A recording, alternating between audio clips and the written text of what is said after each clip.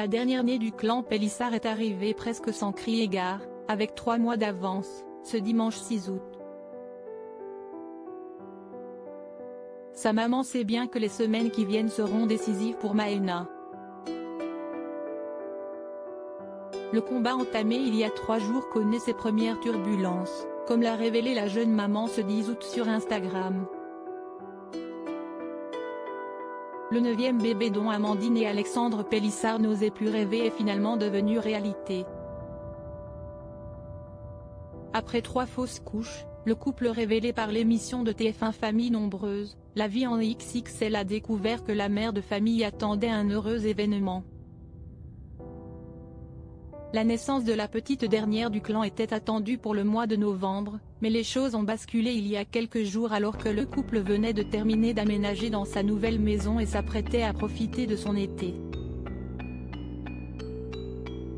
Les soucis de santé d'Alexandré et la vie nécessairement mouvementée d'une famille de 10 ont peut-être contribué à précipiter les choses. Dans la nuit du 2 au 3 août, Amandine Pélissard a été hospitalisée après des pertes inhabituelles. Dans la foulée, la mère de famille nombreuse avait indiqué devoir y rester jusqu'à la venue au monde de son bébé, qu'elle souhaitait évidemment le plus tardive possible. C'était sans compter sur Maëna, un peu pressée, qui a poussé son premier cri à 21h22, ce dimanche 6 août. Si est vraiment pas top pour les petits bouts pas facilement éblouis, Amandine Pélissard est toutefois en totale admiration devant sa petite fille, qui depuis son premier cri a prouvé qu'elle était une battante.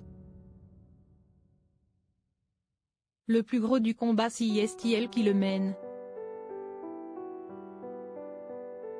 On va l'accompagner jusqu'au bout de ce périple si est vrai qu'il y a encore du chemin à faire, j'ai confiance en ma fille et en l'équipe soignante.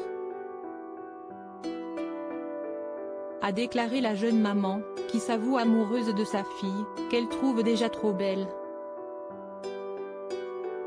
Après un premier pot à pot sans doute aussi réconfortant pour la mère que pour la fille, sont arrivés les premiers petits tracas.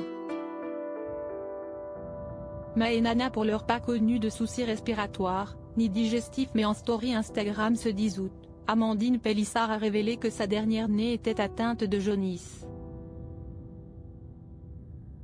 Bichette, je me doutais qu'elle l'aurait puisque tous mes enfants l'ont eu, je me doutais bien qu'elle y échapperait pas, j'espérais juste que ça arriverait un petit peu plus tard, mais non. Maëna n'y coupera pas, le traitement de l'ictère du nourrisson, ce sont des heures à passer sous une lampe de photothérapie. Amandine Pélissard a révélé qu'elle sera près de son bébé à l'issue de la séance, qui prendra fin à 2h30 cette nuit, expliquant que la machine était anxiogène pour les bébés, si est vraiment pas top pour les petits bouts a-t-elle lâché, consciente toutefois de n'avoir pas d'autre solution. Un nouveau pot à pot avant un nouveau round de photothérapie vers 6h30 était au programme de la jeune maman. La maternité, un chemin pas si tranquille.